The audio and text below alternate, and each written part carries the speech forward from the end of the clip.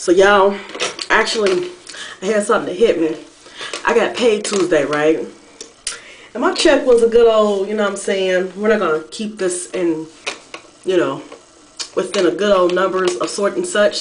Because, you know, I like to keep everything under wraps of how much I get paid and whatnot. But, um, you know, maybe, I don't know how some girls, how they feel, you know, how they feel about you know, buying men stuff or whatever, or, you know, even when it comes to like a birthday or like a just a get well present or just cause I love you type present.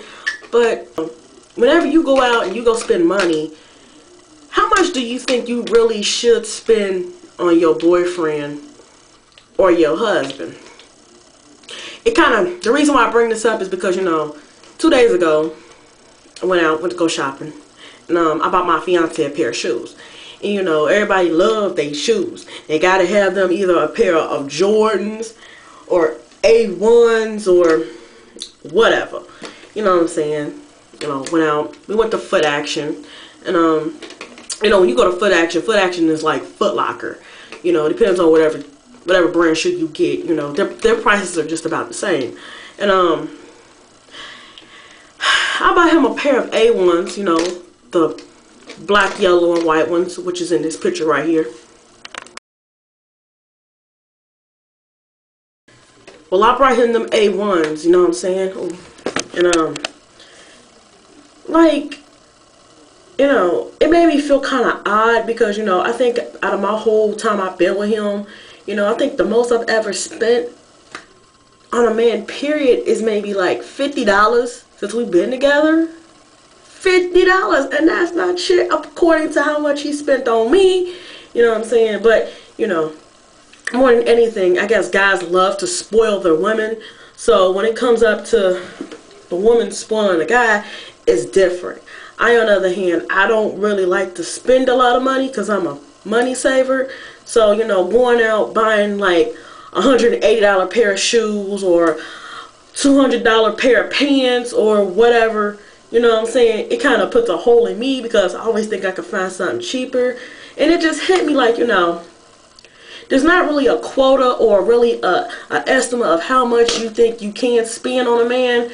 But you know, y'all men, when it come up to shopping, y'all are some picky ass people when it come up to shopping because girls, even though we do got style, and yes ladies, when we go shopping, we do have style, but you gotta remember, men are picky like that. They gotta have everything matching, everything down from their socks, their drawers, to their stocking caps.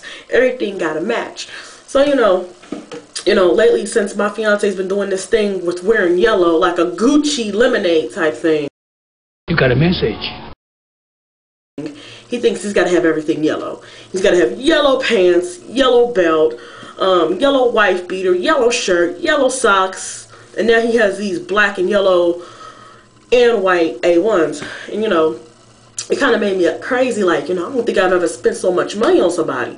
But, you know, over the course since we've been together for like four years, I think the most I've even spent on him, I haven't even spent over $300 on him yet. So, you know what I'm saying? Like, you know, man, girl. Do you ever think it's a quota of how much a woman should spend on a man? Now, when it comes to us girls, we are unlimited. We like everything. We like everything from jewelry, getting our hair done, getting our nails done, getting some makeup, getting clothes, whatever. We go all out. But when it comes to a man, do you think it's do you think we should spend more money on men like men spend money on us? Get back at me and tell me what y'all think. Cause right now, I think that I made a big mistake with these A1s, and I don't. It's just killing me because I don't think I've ever felt this way about spending money on a man like that. Holla.